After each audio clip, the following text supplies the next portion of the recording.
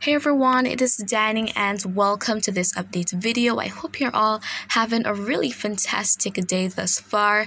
And so in this video, I will be taking you guys through the latest in terms of what is happening across uh, the North Atlantic. And uh, the focus will be on the Caribbean, of course.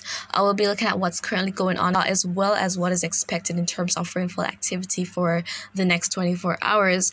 And we'll be looking a bit into the future because signs are pointing towards some sections of the region receiving some increased and well needed rainfall. So I'm going to be taking you guys through that. So before I go into details, please do subscribe if you haven't yet done so and tap the notification bell so that you never miss an important update.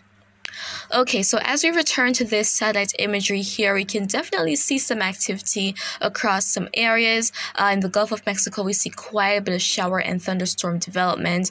Uh, there is that front well off the east coast of uh, North America. We see some thunderstorm activity within the vicinity of the Bahamas and also lots of activity in northern South America and along the H. Now, as we progress to the coast of Africa, there we have a blob of some activity and this is the sort of trend we're seeing now with these. And of course as i mentioned in a previous update uh, we're eventually going to be having that first tropical wave making its way from the coast of the continent. But uh, as of right now there is some dry air out there as well. So let's go ahead and take a look at the saharan air layer map and so uh, here we can definitely see that uh, we have quite a bit of dust out there in the tropical Atlantic. And of course, as we head more towards those shades of oranges and uh, reds and even that pink shade, that is increasing quantities of dust out there in the atmosphere. And so uh, some of that is in the Caribbean region as well, especially uh, if you guys are in the Eastern Caribbean. You might be experiencing some hazy skies. And of course, it is sunny because there isn't much activity within uh, the area in terms of rainfall. So let's go ahead and take a closer look at the regions. But we're going to be starting out with uh, parts of uh, northeastern South America. And so uh, looking at the current imagery here, we can see that there is quite a bit of convective activity, lots of showers and thunderstorms seen in parts of uh, Venezuela, also going to uh, the southern portion of Guyana, Suriname, and uh, even in sections of French Guiana as well, we can see some of that activity. And then, of course, uh, looking up where we have Barbados, Trinidad, Tobago, Grenada, the Grenadines, and St. Vincent, we can see that there isn't much going on at all, maybe just some passing clouds at the most. Uh, going over to the ABC Islands, there we can see uh, that flow of activity coming from all of those showers and thunderstorms making their way across the area, uh, maybe inducing some cloudy skies, possibly with a brief shower or so, but nothing significant significant at this time. And then go into the general region here, uh, we can see that there is not really much, but look down in Colombia, a blob of all of that convection. That's where we have lots of rainfall activity, lots of thunderstorm activity taking place, guys. And so across uh, the rest of the region, we can see that we've got that flow of activity coming from the west, uh, not inducing too much. And so now in terms of the rainfall expected between now and tomorrow, tomorrow. So we're going to be looking at the Euro and Icon models in terms of what they anticipate. So we're starting out with Euro, of course, and uh, as this map becomes more colorful, the higher the rainfall total is. And so here we can see that down in parts of southern Venezuela, going to Brazil, southern uh, Guyana, and in portions of Suriname, we see the highest totals. And so uh, those are flood triggering rains expected, guys. And if you're there, please take all necessary precautions and stay safe because, of course, in the event of heavy rainfall, uh, that flooding is always possible, especially in the more vulnerable areas such as those low-lying areas. So please take all necessary precautions and do not take any unnecessary risks. And so going to the Caribbean, uh, it's contrasting what is expected down there because we're not seeing those very high totals.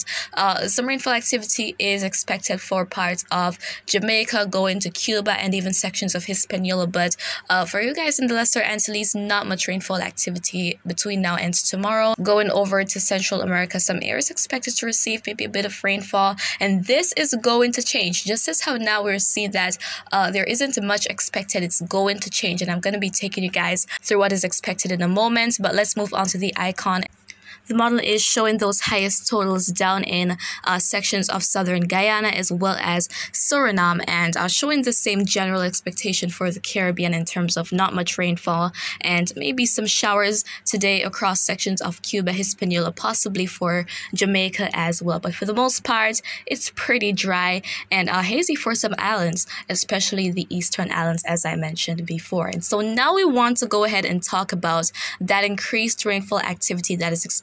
Firstly, I want to take you to the updated uh, Climate Prediction Center Global Tropics Hazards Outlook map here. And uh, we want to focus on next week as well as the following week, which is May 17th to the 23rd.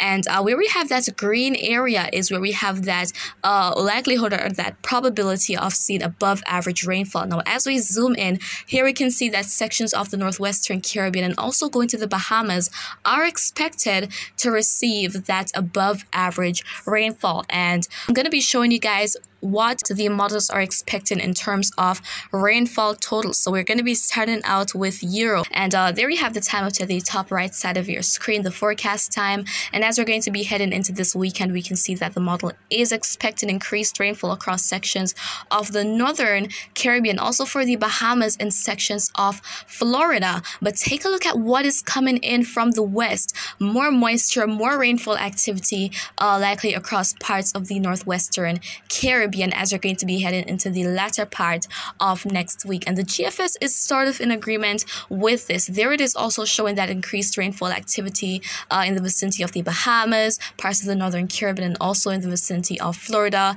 It is definitely showing that increased activity over uh, in the west and heading toward the northwestern Caribbean. Uh, and eventually, of course, we are likely to see or experience that rainfall activity. And if you're in sections of the Eastern Caribbean, such as the Lesser Antilles, I didn't forget you guys. Uh, unfortunately, you guys are not expected to receive as much rainfall as what is expected over in the West. So that doesn't mean you guys won't receive any rainfall whatsoever, but just not as much. Uh, that sort of increase is not expected within your area. And for those expected to receive that increased rainfall, we could possibly see some flooding across some areas. So even though many of us have been longing for the rainfall activity and it seems to be on the horizon, we should still be cautious of the fact that uh, these expected rains could trigger flooding, especially in those low-lying areas, as I said. So uh, please take all necessary precautions and stay safe should this be the outcome. But of course, even though there is some confidence with this, uh, we're talking about something over a week from now and there can be changes with the forecast. And as such, I'll be keeping you guys updated on all that is anticipated. And so uh, that is pretty much it for right now. And uh, if you have any questions, feel free to leave them down in the comments. I will try to respond as best and as soon as I can. And of course, remember to always be weatherwise.